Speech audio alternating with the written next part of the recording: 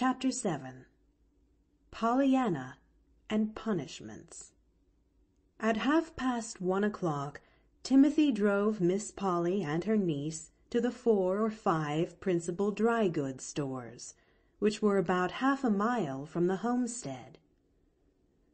Fitting Pollyanna with a new wardrobe proved to be more or less of an exciting experience for all concerned.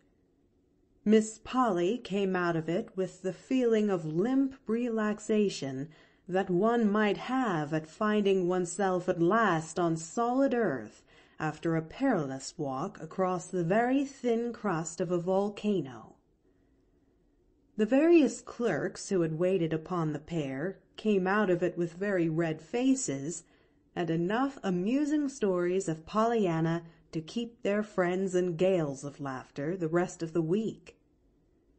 Pollyanna herself came out of it with radiant smiles and a heart content, for as she expressed it to one of the clerks, when you haven't had anybody but missionary barrels and ladies' aiders to dress you, it is perfectly lovely to just walk right in and buy clothes that are brand new and that don't have to be tucked up or let down because they don't fit. The shopping expedition consumed the entire afternoon. Then came supper and a delightful talk with old Tom in the garden, and another with Nancy on the back porch, after the dishes were done and while Aunt Polly paid a visit to a neighbor. Old Tom told Pollyanna wonderful things of her mother that made her very happy indeed, and Nancy told her all about the little farm six miles away at the Corners, where lived her own dear mother and her equally dear brother and sisters. She promised, too, that sometime, if Miss Polly were willing, Pollyanna should be taken to see them. And they've got lovely names, too. You like their names, sighed Nancy. They're Algernon and Florabelle and Estelle. I, I just hate Nancy. Oh, Nancy, what a dreadful thing to say. Why? because it isn't pretty like the others. You see, I was the first baby, and Mother hadn't begun to read so many stories with the pretty names in 'em then. But I love Nancy, just because it's you, declared Pollyanna. Hm. Well, I guess you could love Clarissa Maybelle just as well, retorted Nancy.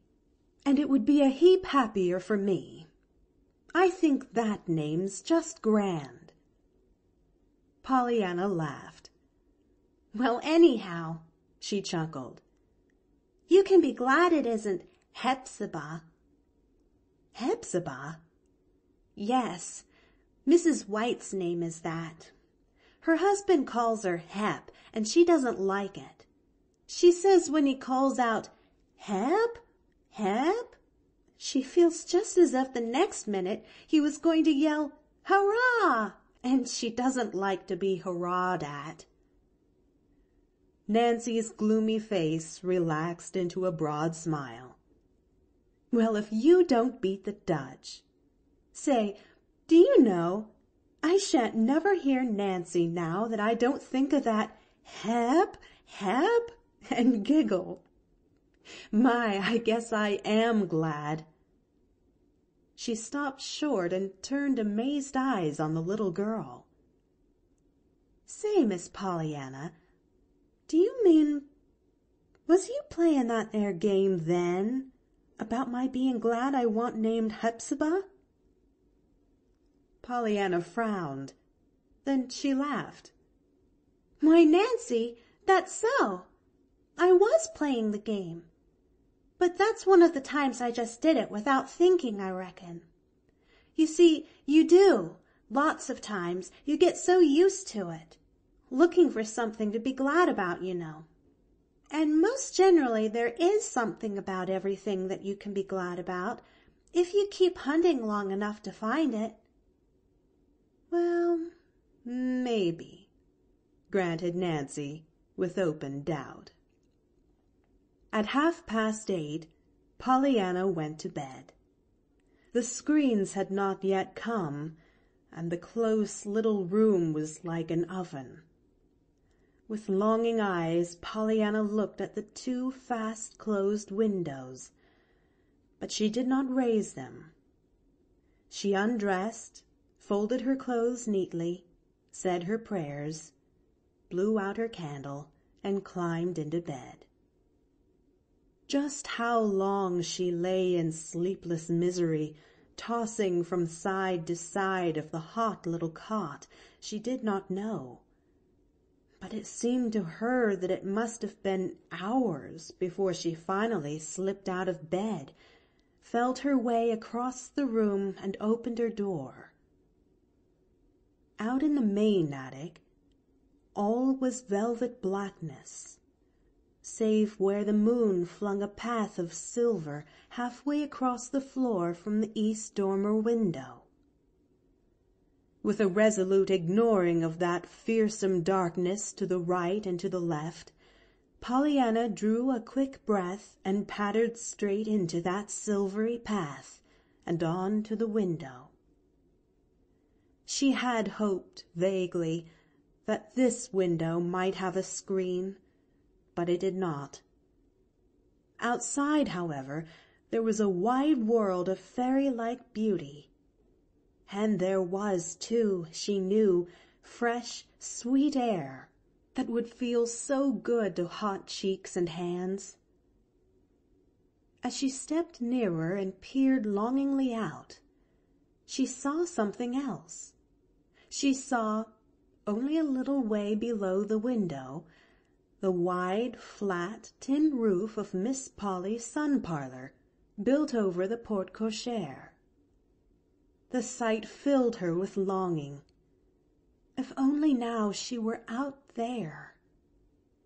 Fearfully she looked behind her. Back there, somewhere, were her hot little room and her still hotter bed but between her and them lay a horrid desert of blackness across which one must feel one's way with outstretched shrinking arms, while before her, out on the sun parlour roof, were the moonlight and the cool, sweet night air. If only her bed were out there! And folks did sleep out of doors. Joel Hartley had at home, who was so sick with the consumption, had to sleep out of doors. Suddenly Pollyanna remembered that she had seen near this attic window a row of long white bags hanging from nails. Nancy had said that they contained the winter clothing put away for the summer. A little fearfully now, Pollyanna felt her way to these bags selected a nice, fat, soft one (it contained Miss Polly's sealskin coat) for a bed, and a thinner one to be doubled up for a pillow, and still another, which was so thin it seemed almost empty, for a covering. Thus equipped, Pollyanna in high glee pattered to the moonlit window again, raised the sash, stuffed her burden through to the roof below, then let herself down after it, closing the window carefully behind her. Pollyanna had not forgotten those flies with the marvelous feet that carried things.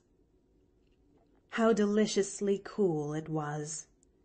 Pollyanna quite danced up and down with delight, drawing in long, full breaths of the refreshing air. The tin roof under her feet crackled with little resounding snaps that Pollyanna rather liked. She walked, indeed, two or three times back and forth from end to end. It gave her such a pleasant sensation of airy space after her hot little room. And the roof was so broad and flat that she had no fear of falling off. Finally, with a sigh of content, she curled herself up on the seal skin coat mattress, arranged one bag for a pillow and the other for a covering, and settled herself to sleep. I'm so glad now that the screens didn't come, she murmured, blinking up at the stars. Else I couldn't have had this. Downstairs, in Miss Polly's room next the sun parlour, Miss Polly herself was hurrying into dressing gown and slippers, her face white and frightened. A minute before she had been telephoning in a shaking voice to Timothy. "Come up quick, you and your father. Bring lanterns. Somebody is on the roof of the sun parlour. He must have climbed up the rose trellis or somewhere, and of course he can get right into the house through the east window in the attic. I have locked the attic door down here. But hurry, quick!" Some time later Pollyanna, just dropping off to sleep, was startled by a lantern flash and a trio of amazed ejaculations. She opened her eyes to find Timothy at the top of a ladder near her, old Tom just getting through the window, and her aunt peering out at her from behind him. "Pollyanna! What does this mean?" cried Aunt Polly then. Pollyanna blinked sleepy eyes and sat up. "Why, Mr. Tom, Aunt Polly," she stammered. "Don't look so scared. It isn't that I've got the consumption, you know, like Joel Hartley. It's only that I was so hot in there. But I shut the window, Aunt Polly, so the flies couldn't carry those germ things in." Timothy disappeared suddenly down the ladder. Old Tom, with almost equal precipitation, handed his lantern to Miss Polly and followed his son. Miss Polly bit her lip hard until the men were gone. Then she said sternly, "Pollyanna, Hand those things to me at once and come in here. Of all the extraordinary children!" She ejaculated a little later, as with Pollyanna by her side and the lantern in her hand she turned back into the attic. To Pollyanna the air was all the more stifling after that cool breath of the out of doors, but she did not complain. She only drew a long, quivering sigh. At the top of the stairs Miss Polly jerked out crisply. "For the rest of the night, Pollyanna, you are to sleep in my bed with me. The screens will be here tomorrow, but until then I consider it my duty to keep you where I know where you are." Pollyanna drew in her breath. "With you? In your bed?" she cried rapturously. "Oh, Aunt Polly, Aunt Polly, how perfectly lovely of you! And when I've so wanted to sleep with someone sometime, someone that belonged to me, you know, not a Ladies' Aider. I've had them. My, I reckon I am glad now those screens didn't come. Wouldn't you be?" There was no reply. Miss Polly was stalking on ahead. Miss Polly, to tell the truth, was feeling curiously helpless.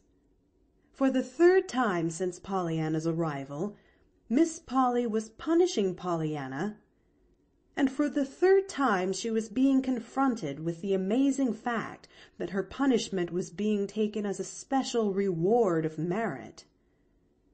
No wonder Miss Polly was feeling curiously helpless. End of chapter 7 Recording by The Story Girl